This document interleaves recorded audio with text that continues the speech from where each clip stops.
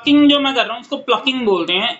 और ये प्लकिंग हो रही है A minor E minor F और जी ये चार कोड पे मैं कर रहा हूँ। A minor E minor F bar G ठीक है ना? तो पहले मैंने ए माइनर पे क्या किया है? Four three two three one two three two उसके बाद फिर ई माइनर पे मैंने लिया। Six three two three one two three two फिर एफ़ पे मैंने लिया four three two three one two three two और जी पे भी मैंने लिया six three two three one two three two तो इस तरह से शुरू में जो है आप प्लकिंग कर सकते हो। वैसे सॉन्ग्स में तो ऐसा कुछ सुनाई नहीं देता है बट फिर भी एक ब्यूटीफाई करने के लिए एक बिगिनिंग को तो इट्स गुड नहीं तो आप ऐसे स्ट्राइक करके भी गा सकते हो शुरू में।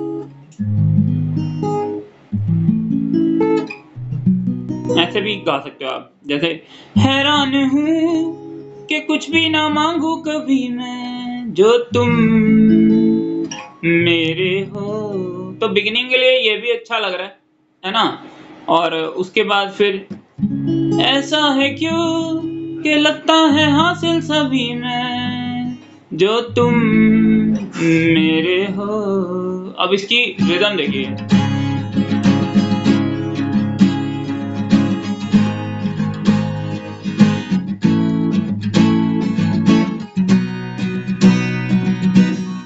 तो बहुत सारी रिदम आप बना सकते हो but this is very good down up down down up down down up down क्या? डाउन अप डाउन डाउन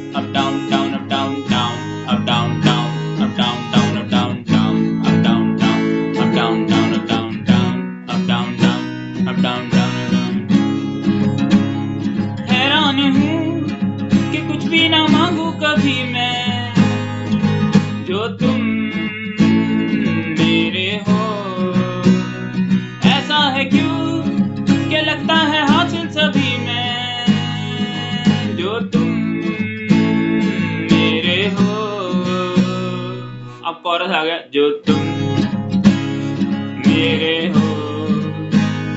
तो मैं कुछ नहीं मांगू दुनिया से, और तुम हो ही नहीं। तो मैं जीना नहीं चाहूँ दुनिया में। अब आप एक चीज़ ये देखो कि मैंने कैपो कर रखा है वन टू थ्री फोर है ना? फोर नंबर पे कैपो तो सी शार्प माइनर है एक्चुअली में एक और बट इसको कैपो लगा के ए माइनर बनाया गया ये है एक्चुअली में सी शार्प माइनर कोड देख रहे हो ना? ये कैपो देखो। तो अगर यहाँ पे पहले पे कैपो आया तो क्या हो गया? ए शार्प माइनर दूसरे पे आया बी माइनर फिर सी माइनर तो सी शार्प माइनर कॉर्ड है एक्चुअली में। है ना? इसी तरीके आप इसको भी काउंट कर सकते हो। ये जो ई e माइनर हम बना रहे हैं एक्चुअली में ये जी शार्प माइनर है। और इसी तरीके जो एफ़ हम मान रहे हैं ना, ये एक्चुअली में पता क्या है? ये एफ़ नहीं है, ये ए मेजर है। और ये जो आप जी ले रहे हो ना, ये बी मेजर है। एक्चुअली कॉर्ड ही है। ठीक है ना? तो बट इनको कैपो लगा के हमने उस पर बनाया है। तो क्या मैंने बोला सी शार्प माइनर और आपका जी शार्प माइनर और ए और बी अगर मैं बिना कैपो के आपको बजा के दिखाऊँ देखो ऐसे बजेंगे वो।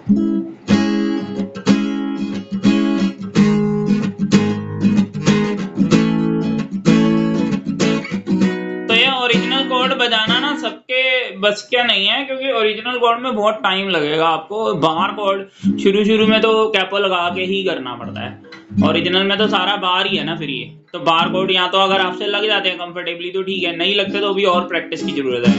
वैसे बार कोड में सेट करने में आठ दस महीने लगना तो आम बात है, अगर एक बिगनर लेवल पे है बंदा तो। आदत डालनी पड़ती है बार कोड की। हाथों में दर्द भी बहुत होती है बार कोड लगाते हुए। स्पेशली पीछे अंगूठे से फोर्स लगता है ना तो उसमें बहुत दर्द होती है। तो बार कोड से भी आप कर सकते हो इस सॉन्ग को। अब ये पूरे गाने में ना, यही कोड चलने हैं आपके। तो थोड़ा मैंने आपको गा के भी दिखाया, थोड़ा और ले लेते हैं। जो तुम मेरे हो तो मैं कुछ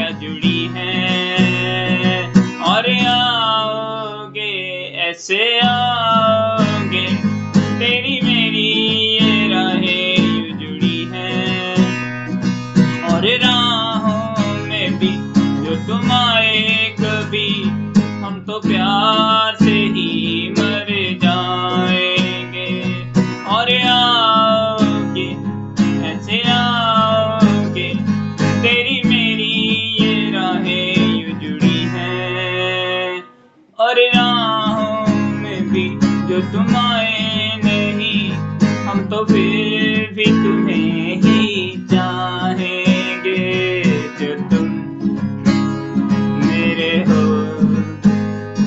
तो मैं कुछ नहीं मांगू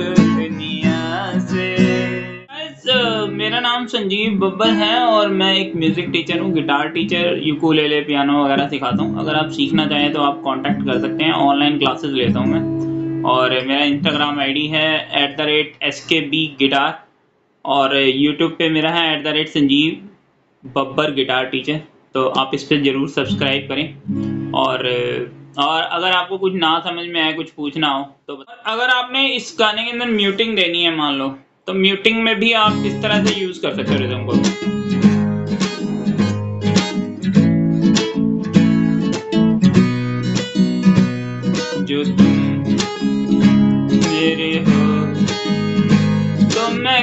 फिर नहीं मांगू दुनिया से। Down up mute up down up mute up down up mute up down up mute up down up mute up down up mute up down up mute up तो इस तरह से आप म्यूटिंग के साथ भी गा सकते हो इसको। तो कैसा लगा मेरा ये वीडियो प्लीज़ कमेंट करें और ज़रूर बताएँ। Okay guys take care bye